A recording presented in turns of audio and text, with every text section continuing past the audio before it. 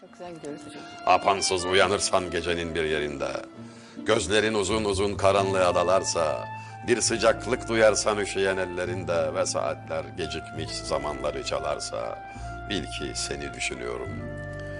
Gecelerden bir gece uyanırsan apansız, uzaklarda elemli garip bir kuş öterse, bir ceylan ağlıyorsa dağlarda yapayalnız ve bir gün kabrimde sarı çiçek biterse, bil ki seni düşünüyorum.